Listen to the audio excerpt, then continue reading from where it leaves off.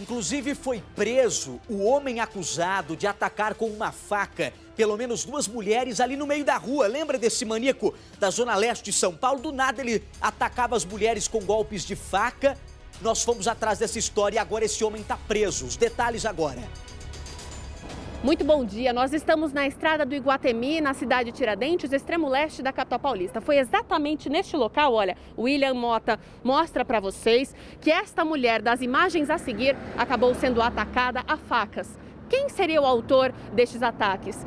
William Oliveira Tomé, de 26 anos de idade, preso em flagrante depois que essas imagens foram divulgadas, vinculadas aqui no primeiro impacto. Segundo informações dos policiais do distrito de número 54, ele teria sido detido na casa dele depois de várias denúncias anônimas apontarem onde estaria o suspeito. Após informações que o indivíduo se encontrava em sua residência, a equipe de Rocan se deslocou até o local dos fatos Chegando lá, o indivíduo se encontrava no interior da residência, onde os familiares se encontravam do lado de fora. A irmã dele franqueou a entrada da equipe, onde a equipe adentrou e fez a prisão. O mesmo não reagiu à prisão. Esta área da cidade de Tiradentes, olha só, o William Mota mostra pra gente, é uma área residencial, tem muitos prédios, uma circulação muito grande de veículos, inclusive por causa deste homem que estaria atacando as mulheres. Agora a mulherada está com bastante medo de trafegar por aqui, inclusive depois da prisão do suspeito. Não dá para ninguém nem sair direito, porque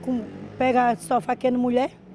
Faqueou a mulher ali na padaria que tem aqui na rua daqui. Te dá mais alívio saber que ele foi preso? Dá, né?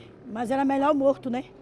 Porque, porque o governo solta, solta de novo, de volta para matar os outros aí. William Oliveira Tomé deve passar por audiência de custódia ainda nesta segunda-feira. E os investigadores vão utilizar imagens desta câmera onde aconteceu um dos ataques para saber se mais vítimas acabaram sendo agredidas pelo suspeito.